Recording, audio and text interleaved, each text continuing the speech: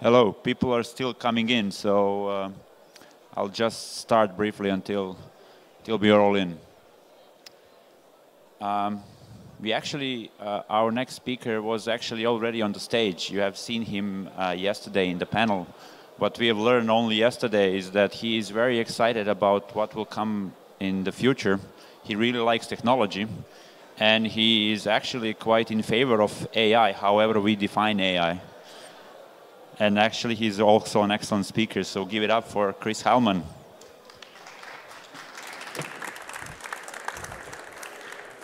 Hello. Um, well, thanks for coming on the last day of this, uh, on the last day and the last talk of this event. I, uh, I'm very much aware that I'm in competition with the free beer outside, and uh, so that's going to be an interesting one. But hopefully, it's going to be worth, worth your time and worth your while. I want to talk today about, uh, about machine learning, artificial intelligence, and deep learning, and all the things that we're throwing around right now, which are the new hype words and the new hype markets that everybody's getting excited about.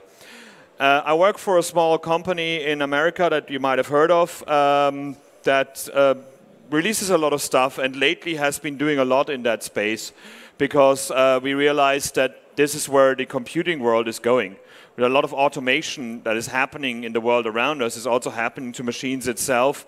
And we also found out that by letting machines do what they do best, by repeatedly doing the same things, we can do a lot of things that are good for humans out there as well. And that is what I'm all going to talk about today, how we can make computers and how we can make uh, code and, uh, and machines make our lives better and make us our understand ourselves better. So when we talk about machine learning, deep learning, artificial intelligence, and big data, it gets very, very easy to get overwhelmed. I'm following this for like three years now, uh, uh, like officially for my company, and I'm basically can't keep up. There's a new thing every day where there's a press release that some clever technology from some company will be the future and save puppies and do all kind of things. There's also no governments know everything about you and uh, everything you see in the news is being faked. Maybe, maybe it isn't. The good thing is we ha had a lot of talks here already by other people at this conference, so that talked about bit, uh, some of the bits before. We had that panel where we discussed something, uh, we had the introduction to deep learning talk, so these videos you can watch later on as well. We had Chris Ward talking about the, the dangers of uh, artificial intelligence and the dangers of automation and believing in technology as a whole. And we had Philip gave a, good, gave a talk about how, uh, how, deal, how to deal with chatbots and how to make a chatbot that feels like a human to talk to and actually helps your users to get better results faster. And this is what it a lot of time boils down to. When people talk about artificial intelligence, uh, sooner or later you see it's a chatbot with some natural language processing. Whereas artificial intelligence is a huge endeavor and a great lofty idea. Yesterday on the panel we completely failed to define what artificial intelligence is. And we, keep, we will keep failing about this because intelligence is hard to find if you follow the news. And artificial intelligence is even harder to make. So the big thing that people are always getting worried about is like that artificial intelligence and deep learning is being used by governments to spy on you and by, uh, by people up there or large corporations or the Illuminati or whatever you want to have. They use all that stuff to know things about you already. And they also keep saying that like it's been recorded without you knowing it and these kind of things. 1984 uh, is an amazing book. It's also a good film. Uh, I find I live in London uh, and I'm moving to, out of London right now, and I find it wonderful that on the on the home where he wrote 1984, there's a CCTV camera on that building. So this is quite interesting to see. But the point that I want to make with this is that Big Brother is not needed because uh, we've been buying these, these cameras that spied on us ourselves. We spent money on them and put them in our pocket and were totally okay when they recorded all of our moves, they recorded all of our conversations, they recorded our face and recognized it and did things with it. So we bought the machines that spied on us years and years ago for convenience. We also happily entered our personal information into everything online as long as it was free. So we live in a post uh, uh in a world where the in a post-data leak world, we've been recognized and recorded. What I want us to think about now as technologists and as humans is what do we do with this?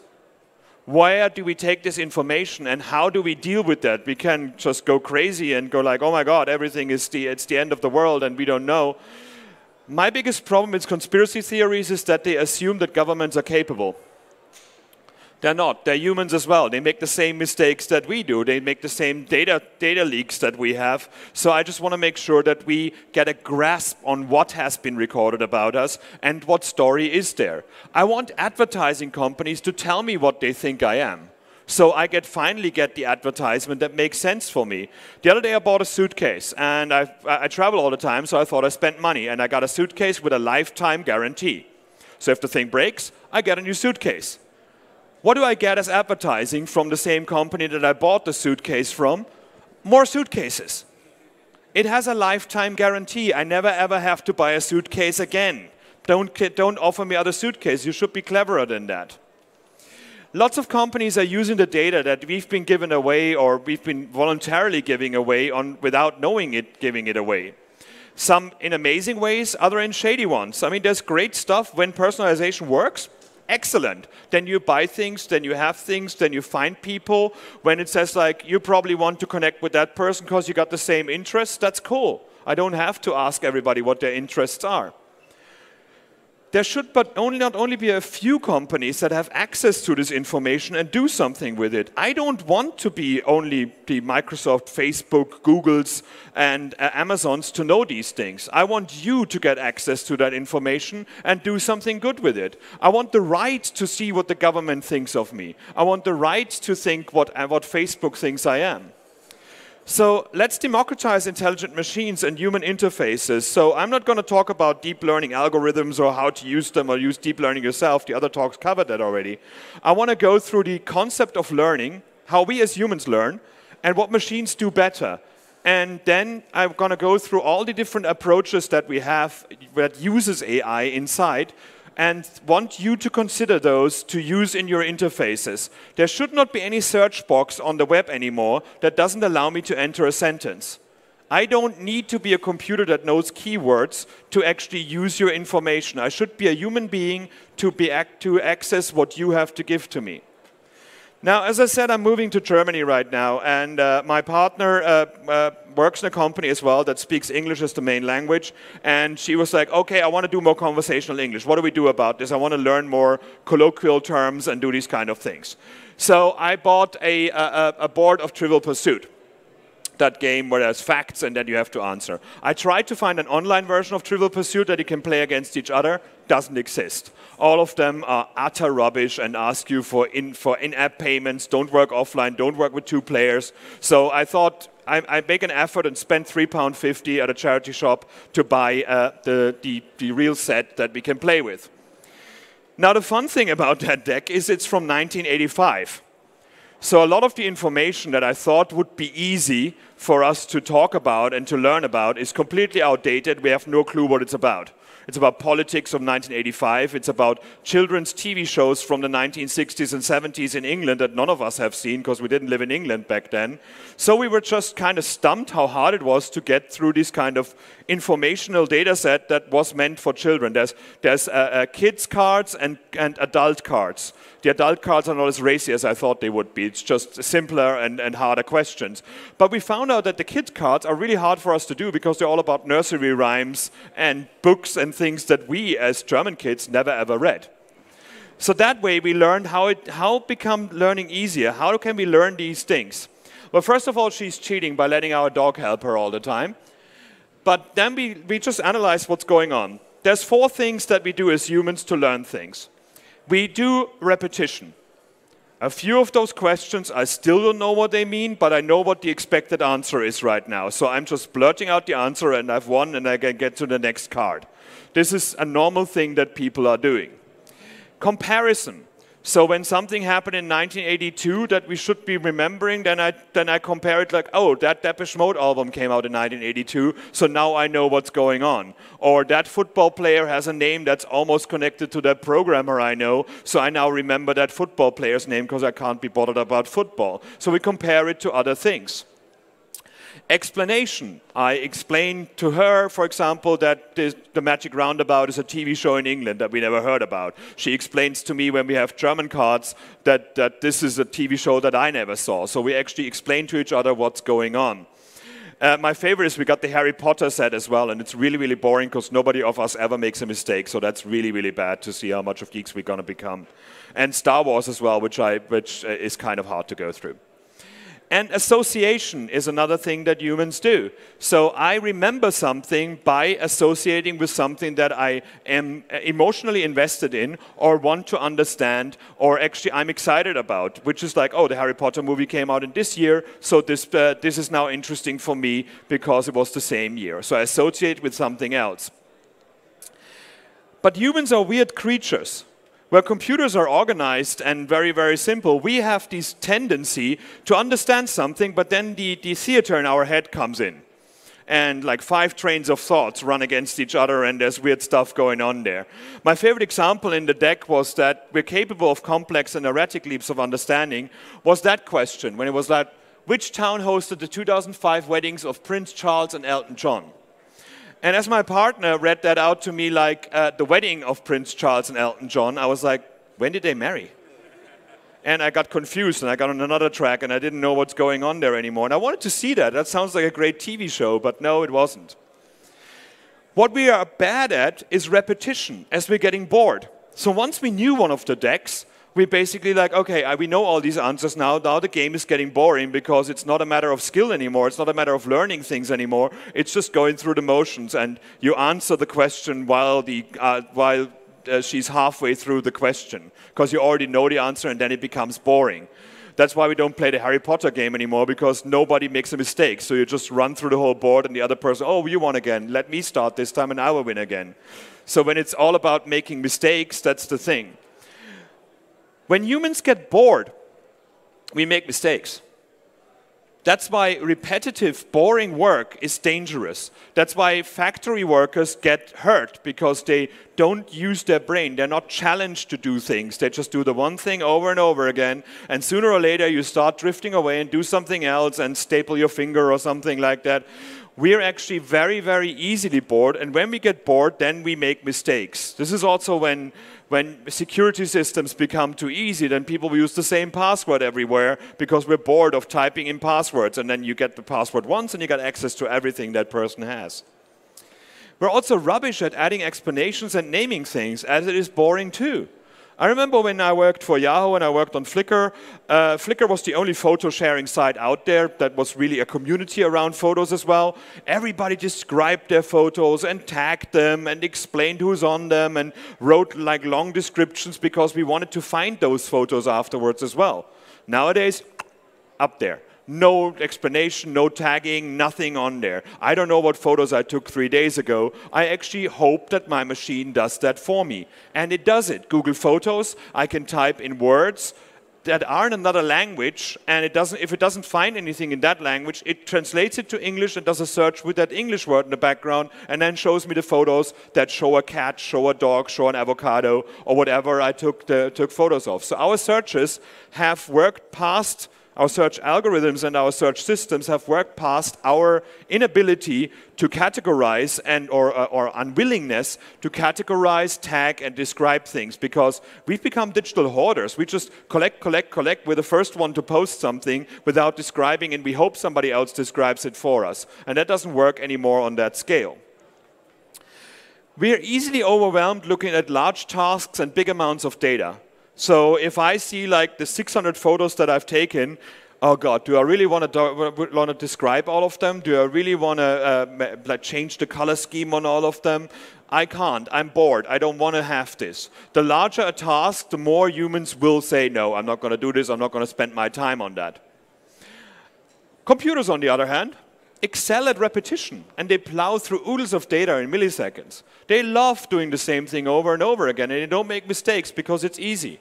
It's simple to do. It doesn't take much overhead. It doesn't take much any branching into something else. So doing the same things over and over again is not a problem. And with the, uh, with the speed that we have with computers nowadays and with the availability of storage and the, uh, the, the price of storage, if it's a terabyte, it's not that problematic anymore. I mean, my favorite is when I buy new hard hardware all the time. You get a hard drive and you're like one terabyte hard drive, and you're like, I'm never gonna fill this.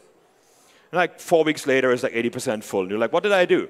It doesn't matter how full the thing is. You always think like, oh, I've got so much data, I can download the, the 4K edition of this, and I do the, these 500 VMs and these 500 ISOs of, of Ubuntu or whatever. We fill everything up to the brim as long as we have it, no matter if we need that data or not. Our job is to make sure that the data that goes through computers and gets analyzed by computers is understood correctly. So we have to teach the machines to understand what this data means. And we have to make sure that we don't make mistakes that causes in, irreparable harm to humans. Like we saw, for example, in, in the other talk earlier, that photos of people of different colors were not tagged as humans, but with animal names. This was because it was badly trained. This was a terrible, terrible mistake. This was a bad training of the data itself. Our job is also, and more importantly to me and to this crowd right now, I think, that the return data is fit for human consumption. It doesn't matter how intelligent the system is, if our interfaces are terrible and not clever about it, then we're not going to use them. And this is where, uh, where uh, the innovation on the web and the cleverness of our systems have overtaken the UIs that we build right now. When I use a search box, I'm still conditioned from years and years ago to use keywords and to use plus symbols and minus symbols and maybe parentheses and Google and all these cool Google hacks that you can have. I shouldn't have to do that. I shouldn't have to think like a computer to get results. I should be able, as a human, to type a sentence in or to speak to my search box. And we do that on mobile, but we don't do it on desktop and uh, larger, uh, larger, uh, larger uh, uh, software pieces yet. This is a very simple sentence that humans understand. Where do I find a nice restaurant around here that's open tomorrow around lunchtime? Now, to make this understandable to a machine, we have to break it up into its components. And the talk that we saw earlier about the chatbots did a really, really good job with that. It was a good primer of natural language processing, but I'm going to repeat a few things here now. The first thing is a restaurant. That is the search term. That is the most important thing in that whole question when it comes to a, a, database that we should query against it. Somebody wants to know about a restaurant. This is the main thing that, should, that the computer should give me information back. Nice is great for humans, but what does nice mean? As a human, I can say my own personal nice. That's a great restaurant because I had great food there. But a computer cannot know that. So this is a lookup. This is like, okay, look at the pricing, look at the reviews, look at uh, the loca locality, how close to it is to the search person, and then that might be a nice restaurant. Something like uh, defining something like nice is really hard for a computer. That's why we need lots and lots of data and lots and lots of other systems where humans said this is nice, then the computer can make an assumption that it's nice too. Here is a location. So this used to be impossible. You had to write like London, comma, UK, not London, Ontario. And now here is basically, I know where your phone is, great, we know that. I know where your IP is, great, we know that. Except right now my IP is somewhere in Italy for some reason. I don't know what's with the wireless here. Tomorrow around lunchtime is a calculated time frame because lunchtime is different from countries to countries. I mean, in, in some countries, there's not lunch. In others, there's three-hour lunch breaks. So what could be lunch? 12 to 1, 12 to 3. So we need to make assumptions there as well. And then the where is a calculated result. We, sh we show you a restaurant, but we also show you how far away it is from you. Nowadays, we don't expect the search result just to say the name of the restaurant, and then we have to type the search in, uh, in again for that restaurant to know where it is. So normally a search result in, uh, uh, in Google or Bing is also a search engine, you can Google for that. Uh, shows you the, the restaurant and where it is on a map next to you as well. We expect these kind of things. So our current hype around artificial intelligence is kind of driven by sci-fi concepts. We get all excited about like, ooh, I got Alexa in my house, I got Google in my house, I can talk to Siri, I can talk to Cortana. I love the concept of that we're totally fine with having a camera and, uh, and a, a microphone in our house that continuously records what we're doing. If 10 years ago I had to tell you like, oh, uh, can I put a microphone in your house that records everything you're doing and send it to some random American company? You'd be like, no, So, and then like, hey, how about when it tells you the weather? Okay, then it's cool. You know, like, look out of the window. That's where the weather is. You know, that's not that much of a problem. We, we, we're giving away a lot of like uh, information for a very, very small gain. There's this age-old dream of a ubiquitous, all-knowing computer butler, like Star Trek had that, where like, computer, yes, where in the Delta Quadrant are we, and how many phases do we have left, and all these kind of things. And the, the fun thing in, in modern movies, and more, even more modern sci-fi movies, they understand human communication quirks perfectly. So when you see, for example, Iron Man, he always is very sarcastic with his, uh, uh, with his Jarvis, and the, the computer then gives sarcastic answers which makes for a good screenplay on screen, but wouldn't make any sense. I don't want Cortana to be sarcastic or to be coy about something. I just want to have the information about it. Uh, I just talked about, uh, uh, I love that there's an HTML5, there's an, AP, uh, there's an API for video play. And there is a, uh, there's an API call set can play. And then a MIME type of the video that you want to play. And in the, in the W3C standard, there's three answers to that one. It's empty string, probably, or maybe. This is bullshit. I don't want to have computers like that. I don't want computers to ask me riddles and do these kind of things. I just want them to give me the information I came for. Computers to me are like a shovel. I don't give them any more respect than a tool that I drill a hole with. But we make them into these magical things because computer, uh, because TV and movies have told us for years this is what computers are.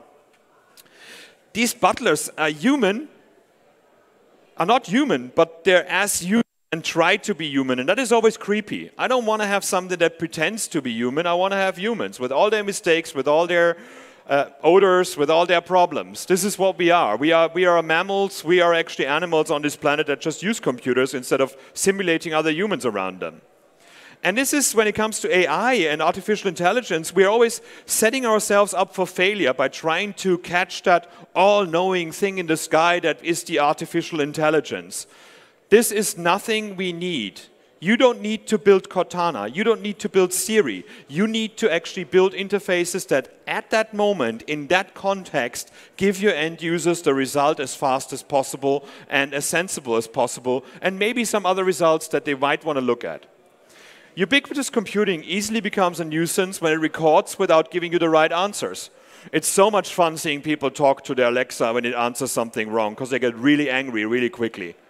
And it's beautiful that, that we, you give somebody a, a great thing like Google Home, or you give them Cortana or Siri. People ask like three questions and then are super excited about how clever that thing is. And then everybody asks that one question where it makes a mistake. And then we're like, haha, I'm cleverer than your computer you know. I paid $900 for you, but I'm still cleverer than you, you know. I give you all my data, but I'm cleverer than you. So we, we seem to need that, uh, uh, that extra level of like, we use these things for everything, I don't know what's going on, but I'm better than it. It's very easy to create a creepy, annoying chatbot and we're not as forgiving with them as we are with humans. I don't shout at people on telephones when they give me the answer wrongly, but with a chatbot, I'm like, I can't do this any longer, just give me a human. I love these automated systems when like press one for this, two for this, three for this. I always press the one that doesn't exist because that gets you faster to a human answering you. Because most of the time the error case is not defined in those things. Artificial intelligence is most effective when it enhances in the background. As I said, when in Google Photos or whatever our system is, I don't even know it, uh, I, I, I, enter Katze in German and I never tagged a photo with Katze. I have cat photos. It realized, okay, he's looking for Katze, no result. He's looking, uh, let's translate it into English. It's cat. For cat, we have, a, we have a model that actually compares the photos with the shape of a cat, and here's your photos of cats. Selfie is a category as well that I would never actually dare to tag something as selfie because it's embarrassing. But I have selfies on there because that's what you do, try to be fitting in with the young kids. So again, how does learning get easier? Repetition, comparison, explanation, and association. Now, repetition and comparison, computers are much, much better than we are, and this is what we should be using them for. This is the one that we should ship out to computers and say like, you know what, do that stuff for me. Is this photo really a photo of a cat? compare it to the trillions of photos in, in Bing search or Google search, and then I know it's actually a cat, rather than me having to guess that's a cat. Of course, there's these wonderful things where you got like marshmallow or corgi or uh, uh, and these like uh, these dogs that look like things. So computers get as confused as humans are about these things. But it's amazing how well these things are. In map systems, I can actually type in how far is here from the capital of Denmark and it will find where here is. It will check up the, the capital of Denmark is Copenhagen, and then it will show me the map of the result of that. It's interesting. The other day, I wanted to show a demo where I said, like, okay, we watched uh, we watched Harry Potter again, and I'm like, how much taller is Helena Bonham Carter than um, Hermione, whatever her name is right now? Um, and the answer, the answer of Google was, did you mean then with an E instead of an A? So it didn't give me the answer, and it corrected my grammar to be wrong. And this taught me that, that this taught me, teach me, this taught me that probably too many people in Google searches get then and then wrong. So now Google assumes that the wrong then is the right then. And this is something we want to be worried about. If, if, if human mistakes become something that the computer appreciates more because it's used more, then we should use this thing more in the proper fashion because we don't want to teach computers wrong things. Now, here are the things that we do with artificial intelligence in them, or deep learning in them, or comparative in them, whatever you want to call it. These are the things I want you to use in your systems in the near future, if not right now, and you all can use them. They're not magical, amazing things that only a few data scientists can do. They're, they're here for you to use already. There's visual recognition, there's voice recognition, there's natural language processing, there's emotion recognition and entity recognition. And I'm going to go through the positives and the negatives of all of them when it comes to building interfaces with them with humans. So visual recognition is the first thing. What is in a picture? The positive of that one is it's automated tagging and clustering of images. You can upload thousands of photos and say like, make me folders or databases with all the pictures of women, all the pictures of men, all the pictures of cats, all the pictures of dogs. Show me all the photos that actually show more than two person, more than three people, and so on and so forth. These are painful things to do by hand, super annoying, super boring. Computers are much better at that and doing those things image to text handwriting. I love that I can, uh, well, I don't because I can't read my handwriting, but uh, I see people using this machine to do handwriting with a pencil and it becomes a Word document in the background.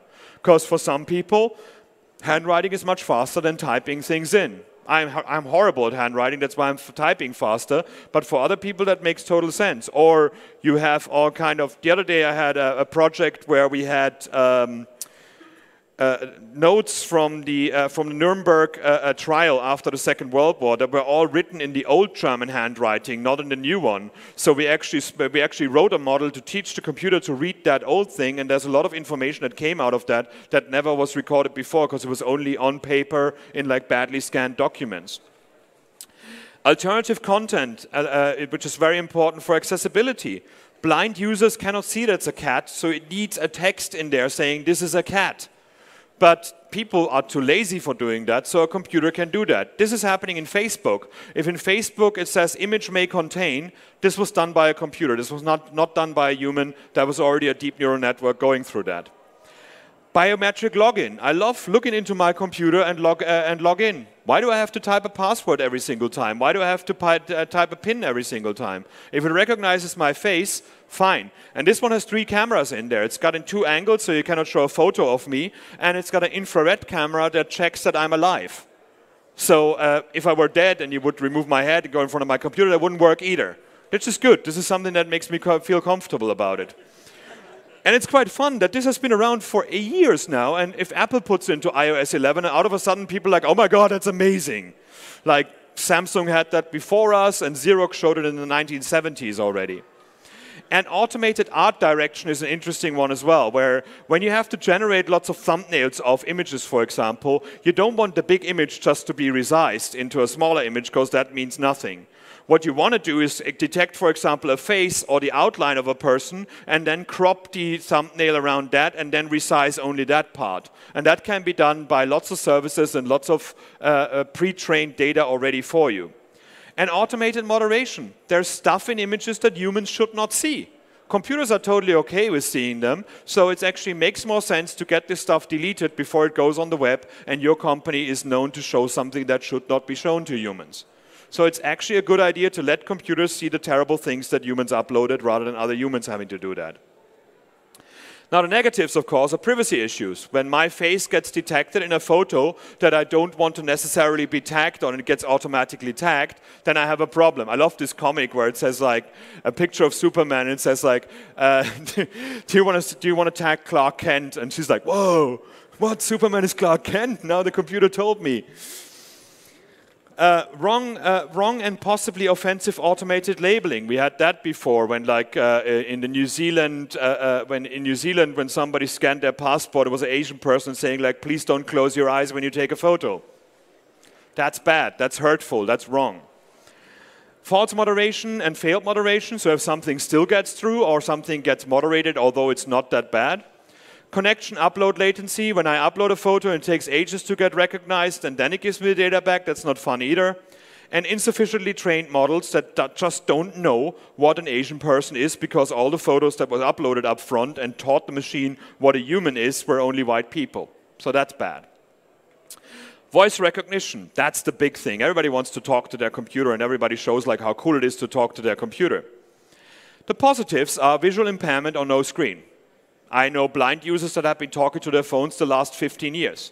Uh, not even smartphones, even phones that had like extra software before that, even phones that were built for that purpose. Hands-free interaction on, the, uh, on their phone, in the car, or on headsets. In the car, you should not actually type on your phone, but it's totally okay if you talk to your phone and say like, uh, change the navigation to the other restaurant that I don't want to go to before. Why you would have to work in a car is another thing. Maybe we should just let ourselves get some free time from time to time and not do anything for work. That's probably a good idea as well. It's faster than typing, it's more natural. Talking to a machine and getting the text generated for me is sometimes much, much easier. That's why when you watch like 1950s movies, people have these dictaphones and then gave it to their secretary to type it up. Some people think better when they talk rather than just typing it themselves. It has this magical Star Trek factor. It's the ubiquitous cool computer that helps me. The negative are it's intrusive as hell. As everybody talks to their machine and talks to their computer next to it, it's super annoying. I mean, people on the phone next to you when you're sitting on a train, you just want to slap them. And 300 people in the office only talking to machines would be impossible because the error rate is just far too high. And you don't want, you can type something without people seeing it, but you can't talk to your phone without people hearing it. So it's probably a privacy thing as well. Disappointing error handling. If a voice recognition doesn't work, it feels hurtful. If you talk to somebody, they don't understand you, it feels like, what did I do wrong? And I'm clever, the computer should be cleverer. Language and accent issues and low sound quality or loud surroundings and latency in recognition again. If I talk to my phone and I see the spinning thing for like 15 seconds, I feel like, why didn't I type it? Because that's not convenience. Natural language processing, allowing for real sentences to go in and people to say like, where's the capital of Denmark or how far away am I away from the capital of Denmark. It allows humans to ask human questions. When we built, uh, I was an engineer on Yahoo Answers, that's what we did. We wanted to allow uh, humans to answer humans. Okay, it completely went belly up, but uh, it, was a, it was an alternative to the keyword search that we did before proper translation of content, not word by word, but by meaning. Google has done this, and we have done it as well, that instead of having a translation that only does a word by word and then random stuff comes out, it also translates the full sentence again afterwards to get some better results out of this. Conversational interfaces that keep the user engaged. That's why we go back to chatbots, where actually sometimes when it works, it's fun to talk to Cortana. It's fun to talk to Siri. The negatives, users are conditioned to think in clicks and actually in keywords. We don't trust a search form to allow me to actually type a sentence in. I feel stupid doing that or I feel it's too much work. But if a properly trained NLP system will get you a better result for a full sentence than for keywords. So you really want to think about uh, putting these into your systems. Language differences are still a problem. Not all people speak English. It's weird, but uh, it, it happens. Emotion recognition in images, in video, in audio, uh, in video, in audio, and in text. That's a very, very important thing because there's a lot of benefits for you to, to know if something is a happy, uh, a happy thing or an unhappy thing. In essence, it's a great feedback channel for product tests. We have, when we do user testing, we have an interviewer next to the user playing with it, but uh, the camera is also doing facial recognition on the person, seeing when they're actually happy and unhappy. So we see if they just want to please the interviewer or if they're really happy about it. Also, self-driving uh, uh, cars having a camera in them and realizing when you get tired and then actually getting slower or telling you to actually make a break, that's a good idea as well. React to the most annoyed customers first when it comes to comments. When you get like 600,000 comments a day, you want to answer those who are most annoyed first because that gets them out of the way of putting more comments in because those people are dedicated. So those are the people that want their answer first. The same way a, a, a, positive answer warrants something that you promote these people and say like, well, thank you for your positive answer and here is a benefit of 20% off next time or something like that. Finding happy quotes and customers to promote and navigate media by emotion. I don't want to see the sad parts of the interview, I want to see the happy parts of the interview.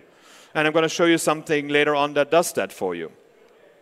The negatives, of course, is false recognition results and hurtful messaging. If, you, if somebody is sad and you're like, well, you seem happy, here's 20% off of your, uh, of your thing that wasn't delivered, that's even more hurtful than anything else. Uh, quality issues can result in very wrong results. People like, okay, I wasn't happy, but you said I was happy, or I was sarcastic, that wasn't actually positive, that was actually very, very negative, which we love to do.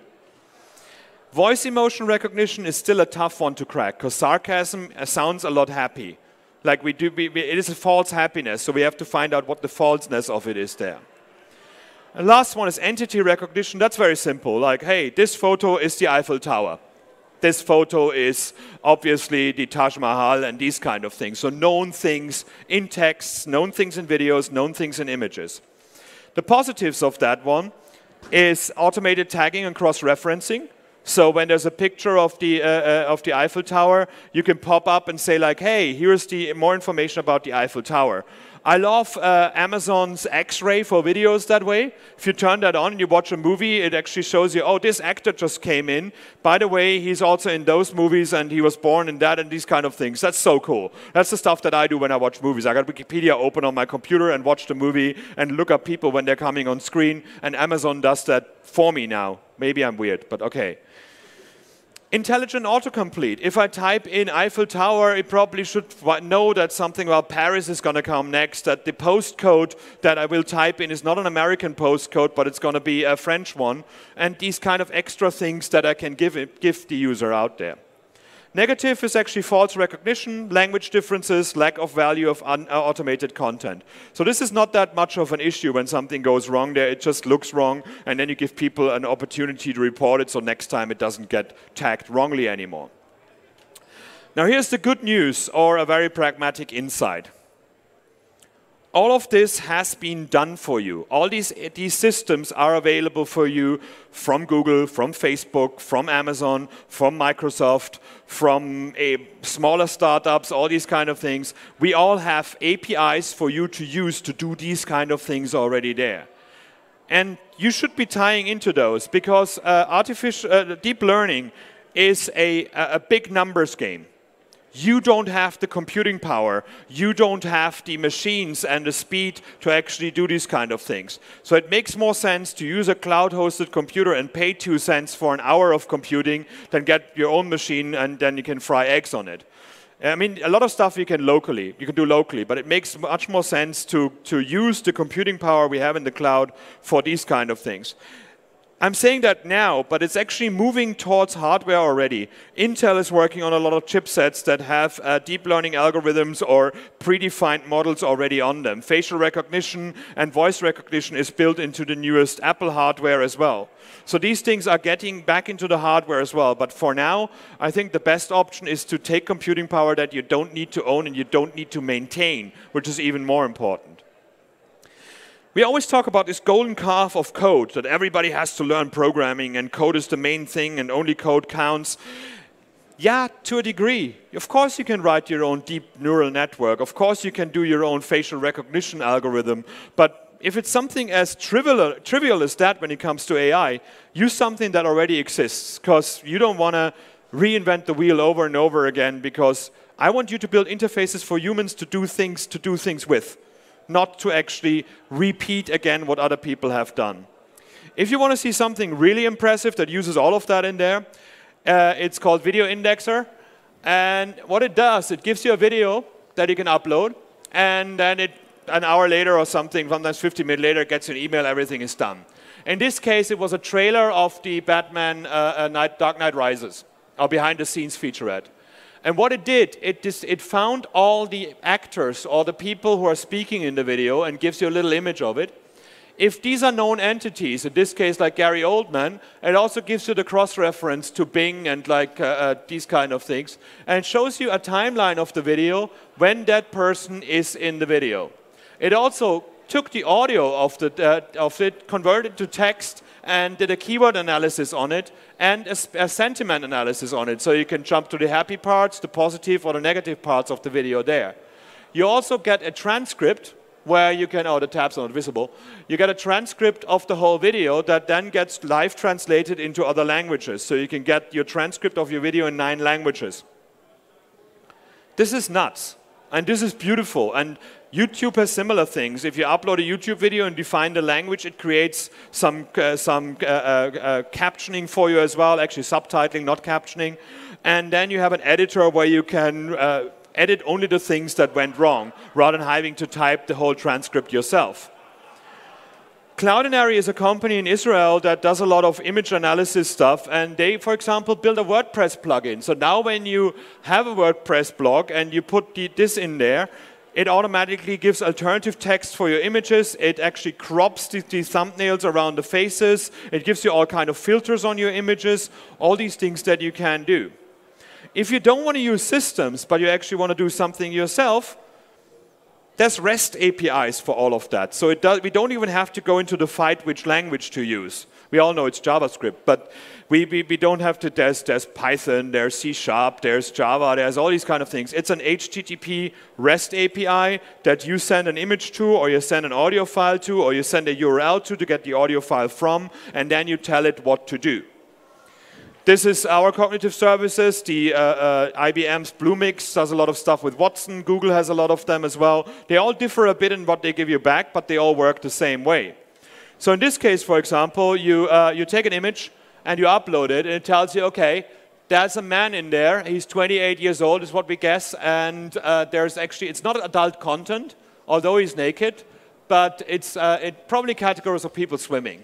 You get a description, which is now, uh, that's actually a bug. I have to uh, get a new screenshot of that. A description would be like man swimming in water, because you have like sport, swimming, you have pool, you have all these things that it found out. It gave you a confidence from zero to, uh, to one what these things are. It also found out that it's a JPEG, that's easy to do with the EXIF data. It analyzes the colors of the image and says like, this is the predominant color, this is the background color. So if you want to show a, a, a color rectangle before you load the photo, that's something you can do. The emotion recognition does similar things. It gives you uh, then the anger, contempt, disgust, fear, happiness, neutral, sadness from zero to one.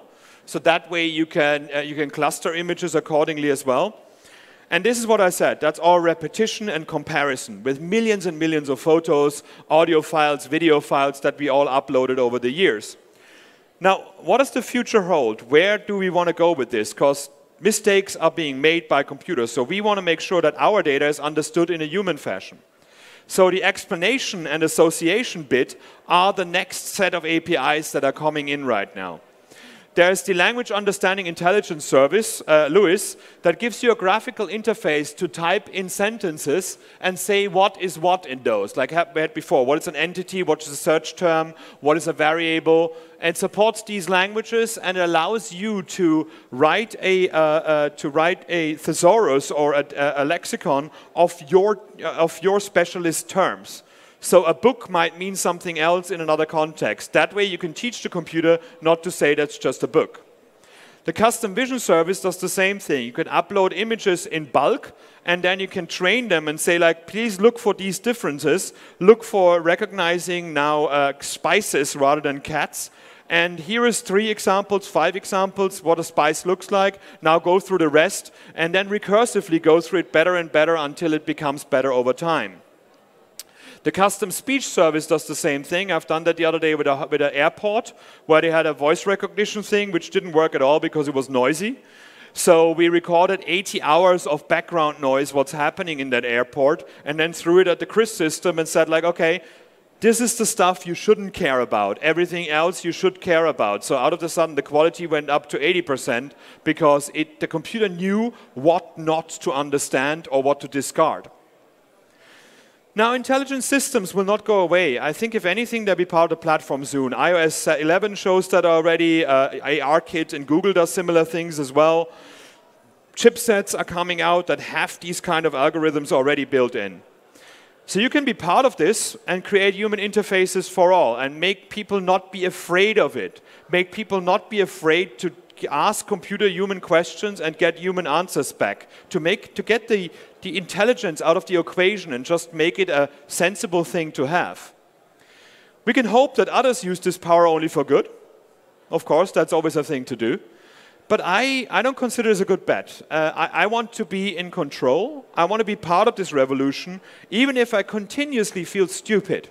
When I go to our data scientists, to our research labs, and I talk to those people, I'm like, I know JavaScript. I can make things bounce on a screen cool. I like cheese. But, you know, but a lot of them can't talk to humans, so they need people like me to help them see what people really need. And it's so exciting. It's so much more exciting than using yet another JavaScript framework or, uh, or discussing for 16 hours if a for loop in this syntax is faster than a for loop in that syntax. This is a new challenge that's happening right now, and I want you all to take it on with the help of systems that others have built for you already. And that's all I had, so thanks very much.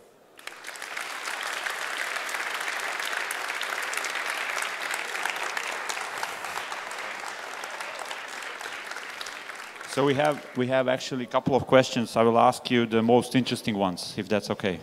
No. Then I will ask all of you. Yeah. oh, by the way, I forgot about that. There is a. Um, yeah, yeah, you can ask. So what I'm happened to, to my computer out? There was a Microsoft chatbot, you know which I mean, and it started insulting people. So the question was, um, do you know what happened? That chatbot worked perfectly. That's the sad part of it. We, we, we threw this thing out to show what human communication on the internet is right now. And the people who talk to it are the most horrid people on this planet who had too much time on their hand. So you cannot blame a system if only the wrong data goes in. There's far too many people that live in their mother's basement, don't have any happiness in their life, and their whole life is trolling other people online. And when a company like Microsoft brings something out like that, the biggest joy in their life is to take this down as soon as possible. So in terms of technique, uh, uh, uh, in terms of code quality and what the thing did, it, it worked perfectly. It was horrid what it did, but that's, then we realized actually, okay, this is what the internet is right now, and it taught us a lot about our moderation systems and our other systems. And we had a lot of people coming in that actually write chatbots to help us with it as well. Google and other people, and also us, we actually hire poets and, uh, uh, and singers and dancers and people like that that do very human things to teach to computers that normal people wouldn't. So it's very good if something like that goes wrong, because then it doesn't have to go wrong in a live system. Very good. One more. So uh, let's finish on a positive note. Due to the machine and bots are replacing annoying, boring, repetitive job, will our profession be overwhelmed in future? Of too many engineers or developers in it? No. Uh, well, no, maybe. I don't know. Uh, um, the, the, question is, are we, uh, uh are we uh, uh, safe from automation? And I can 100% say no. It's just take a look what people are doing.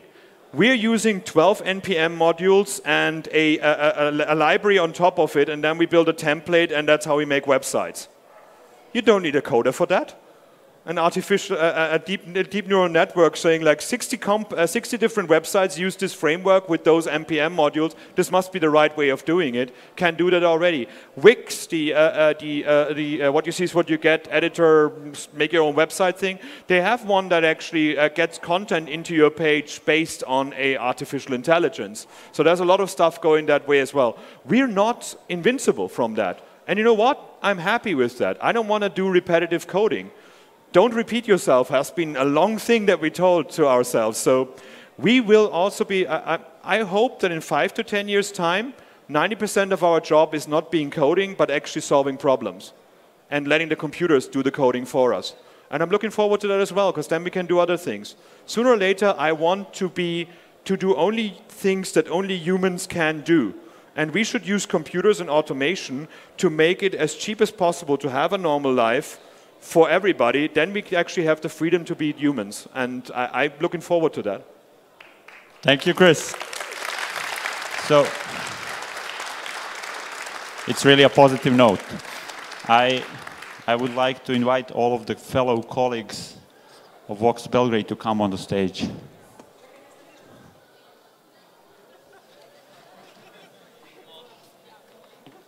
Applause.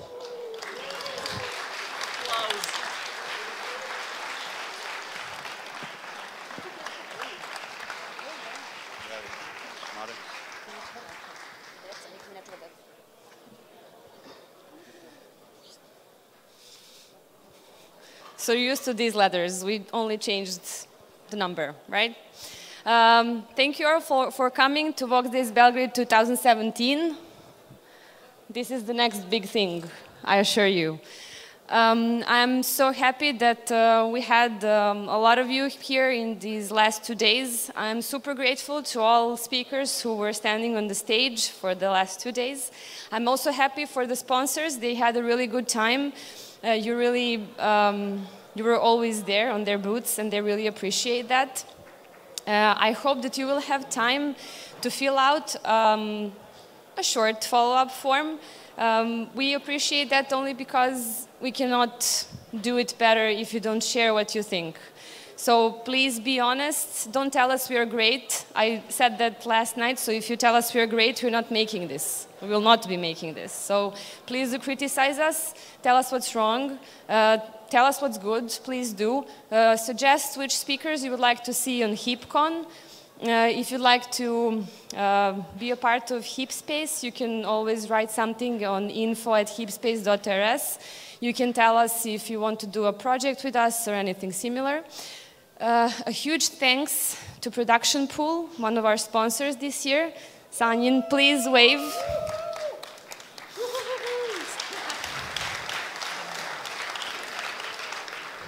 So Production Pool has been our partner for two years now, and they made the live stream happen. They made um, everything work from the technical side. Um, and now I would like, of course, the team. You've seen the team. One applause for them.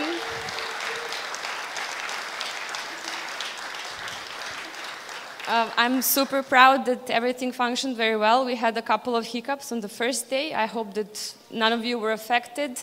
We will try to make it even better next year. Um, and now, um, probably the most important guys at this conference and girls are volunteers. Can you please come up on the stage?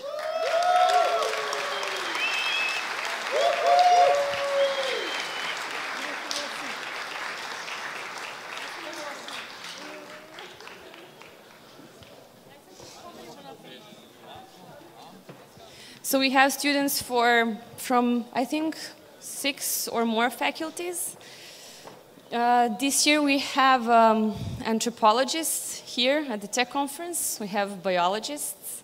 I think we have chemists as well, I'm not sure. Um, of course, we have guys from um, Faculty of Organizational Sciences, uh, from ETF, from Electrotechnical School of Engineering. Um, so we've been very happy with them. Uh, I hope that they um, that they were there if you had any questions. Um, and a huge thanks to you. So we are doing all of this because of you. Uh, I hope that we will meet next year.